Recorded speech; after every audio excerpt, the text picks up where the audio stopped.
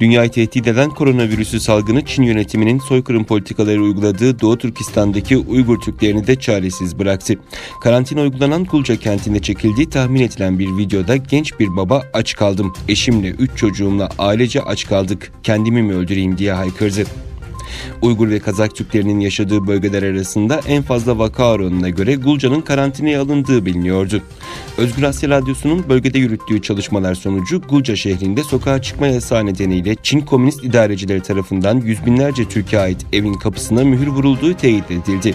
Gözlemciler Çin'in Doğu Türkistan'da virüs bahanesiyle Türklerin evlerini mühürleyip açlık ölümüne mahkum ettiğini, gıdadan tamamen kesilmiş halkın durumunun çok vahim olduğunu vurguladı.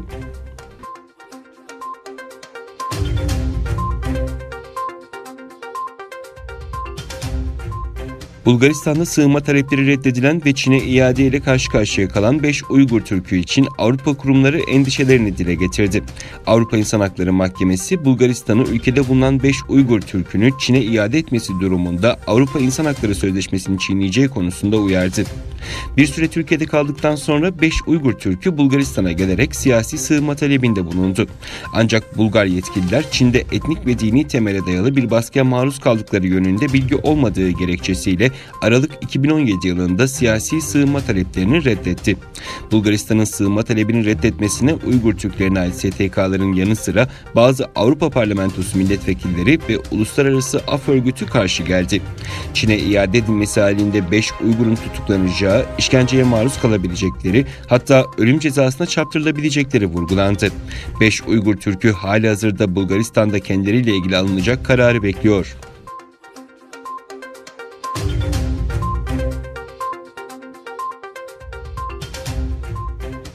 Çin'de Covid-19 salgınının merkezi olan Wuhan kentindeki kadın hapishanesi başta olmak üzere çeşitli eyaletlerdeki 5 hapishanede 500'den fazla mahkumda pozitif vaka çıktı.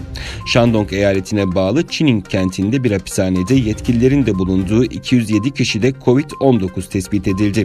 Zhejiang eyaletinde bir hapishanede de, de 34 kişide Covid-19 saptandı. Ulusal Sağlık Komisyonu'ndan gün içinde yapılan açıklamada Covid-19 nedeniyle can kaybının 2238'e çıktığı, virüsten etkilenen kişilerin sayısının 75 bini aştığı bildirilmişti.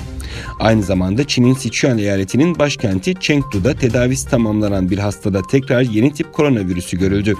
Chengdu kenti sağlık biriminden yapılan açıklamada evinde karantinası devam eden hastanın testlerinin tekrar pozitif çıktığı belirtildi. Açıklamada hastanın yeniden tedavi altına alındığı vurgulanırken başka bölgelerde de benzer vakaların rastlandığı kaydedildi. Diğer yandan Çin'de ortaya çıkan ölümcül koronavirüsü salgınının yetersiz yetersiz sağlık ve temizlik koşullarına sahip Doğu Türkistan'daki toplama kamplarına sıçramasından endişe ediliyor.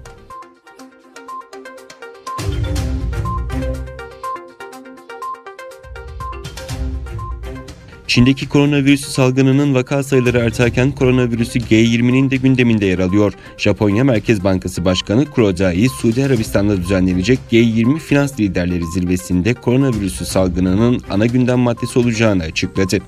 Diğer yandan İran Sağlık Bakanlığı ülkede koronavirüsü vaka sayısının 18'e yükseldiğini, 3 kişinin daha hayatını kaybettiğini duyurdu. İran'daki ölü sayısı 5'e yükseldi. Açıklamada Kum'da 7, Tahran'da 4 ve Gilian'da 2 kişi olmak üzere ülke genelinde 13 kişi daha koronavirüsü tespit edildiği açıklandı.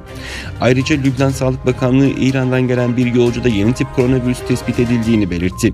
ABD ve İtalya'da da yeni tip koronavirüs vakalarına rastlanıldı. ABD'de vaka sayısı 34'e yükselirken İtalya'da 14'e çıktı.